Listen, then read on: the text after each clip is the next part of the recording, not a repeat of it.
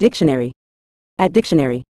Spontaneousness refers to the quality or state of being spontaneous, characterized by actions, decisions, or events that occur naturally and without prior planning or external prompting.